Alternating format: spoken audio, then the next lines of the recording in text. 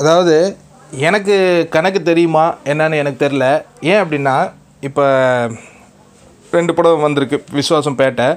இதில் வந்து சில பேர் வந்து விஸ்வாசம் வந்து பேட்டையை விட அதிகமான வசூல் குவிச்சிடுச்சு அப்படின்னு சொல்லிட்டு தரவுகள் போட்டு பதிவு பண்ணிகிட்டு இருக்காங்க. அவங்க மேலே கூட எனக்கு கோவம் இல்லை.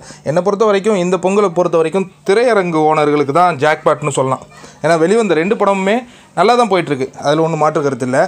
ஆனால் பொய்யான விஷயங்களை ஏன் திருச்சி திருச்சி கூறுறாங்க? அது என்ன காரணம் அப்படின்னு யோசித்து பார்க்கும்போது தான் தெரிஞ்சுது இதுக்குள்ளே நிறைய அரசியல் கூட இருக்குமோ அப்படின்னு சொல்லிட்டு. என்னென்னா அவங்களுடைய நோக்கம்லாம் ரஜினி படம் வந்து வேறு யார் வேணாலும் வெற்றி பெறலாம். ரஜினி படம் வெற்றி பெறக்கூடாது அப்படின்னு மிக தீவிரமாக சமூக வலைதளங்களில் இயங்கிக்கிட்டு இருக்காங்க. அது உடைக்கணுங்கிறதுக்கான ஒரு சின்ன முயற்சி தான் நம்மளும் தரவுகளை திரட்டி இந்த நம்ம சேனலில் பதிவிட்டுக்கிட்டு இருக்கோம். எக்ஸாம்பிள் பார்த்தோம்னா நேற்று வந்து விஸ்வாசமுடைய பாக்ஸ் ஆஃபீஸ் ரிப்போர்ட் ஒருத்தர் பதிவு பண்ணார். அதில் ஆந்திராவில்னு சொல்லிட்டு அதில் ஒரு அமௌண்ட்டு கலெக்ட் பண்ணதாக போட்டார். எனக்கு அப்போ சிரிப்பு தான் வந்தது. ஏன்னா ஆந்திராவில் விஸ்வாசம் ரிலீஸே ஆகலை. இருபத்தாறாம் தேதி தான் ரிலீஸே ஆக போகுது. அந்த விஷயம் கூட தெரியல.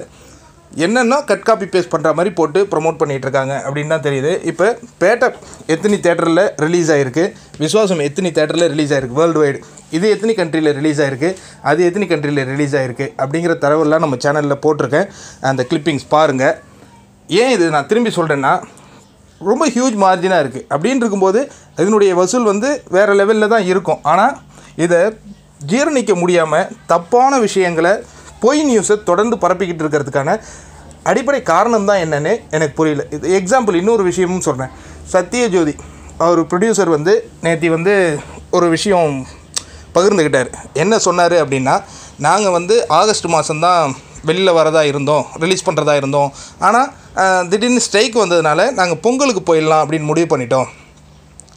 அதுக்கப்புறம் தான் ரஜினியோட பேட்டை படமும் பொங்கலுக்கு வரும்னு சன் பிக்சர்ஸ் அறிவித்த போது எங்களுக்கு கொஞ்சம் அதிர்ச்சியாக தான் இருந்தது.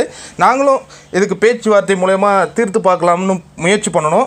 பட்டு அவங்களும் வரதுக்கு ரெடியாக இருந்தாங்க. நாங்களும் இந்த பொங்கல் இந்த ஹாலிடேஸ் மிஸ் பண்ண வேணாம்னு சொல்லிட்டு துணிஞ்சு கிளம்ப இறங்கணும் எங்கள் படமும் நல்லா கலெக்ட் பண்ணிகிட்டு இருக்குங்கிறதே எனக்கு சந்தோஷமாக இருக்குது அப்படின்னு சொன்னார்.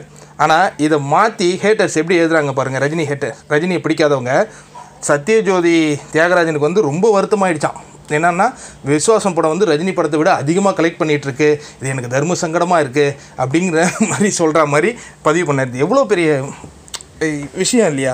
ஏன்னா இந்த படத்தை அந்த படம் ஓடட்டும் வசூல் பண்ணட்டும் அது அவங்களுடைய தனிப்பட்ட விஷயம். ஆனால் என்னென்னா எப்படி ரஜினியை குறைக்கணுங்கிறதுக்காக நிறைய பேர் வந்து செயல்படுறாங்களா? அதுக்கு என்ன காரணம் மட்டும் புரியல.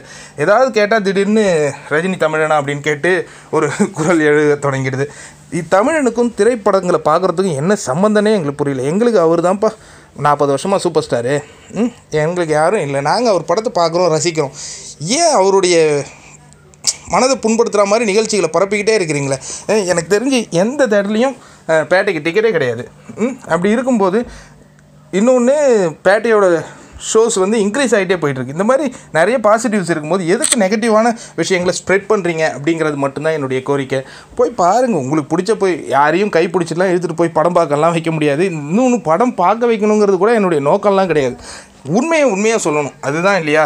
பொய்யான தகவலை சொல்லக்கூடாது. அப்போ ஆந்திராவில் வந்து விசுவாசமே ரிலீஸே ஆகலை. அந்த விஷயம் கூட தெரியாமல் கலெக்ஷன் போடுற மாதிரி பண்ணிகிட்டு இருக்கிறது. இதுமாதிரி நிறைய விஷயங்கள் வந்து தப்பு தப்பான விஷயங்களாக போடுறது வந்து எனக்கு என்னமோ சரியாக படலை. நாங்கள் திரும்பவும் சொல்கிறேன் எங்களுக்கு ரஜினி ஃபீல்டு இந்த பொங்கல் எங்கள் பேட்டை பொங்கல் நாங்கள் செலிப்ரேட் பண்ணிகிட்டு இருக்கிறோம். உங்கள் மற்ற எந்த படத்தோடையும் காம்படிஷனோ கம்பேரிசனுக்கோ வரவே இல்லை. ஏன்னா எங்கள் வழி தனி வழி நாங்கள் அதை செலிப்ரேட் பண்ணிகிட்டு இருக்கோம். அதுதான் எங்கள் இதுவை தவிர்த்து இதுமாரி பொய் கணக்கு போட்டு ட்விட்டரில் விளையாடிட்டு அதுமாரி பண்ணுறது தான் கொஞ்சம் மனசுக்கு கஷ்டமாக இருக்குது. இருந்தாலும் பார்ப்போம். எங்களை நெருங்க முடியாது. நெருங்கணும்னு ஆசைப்பட்றீங்க. வந்து பாருங்கள் நன்றி. வணக்கம்.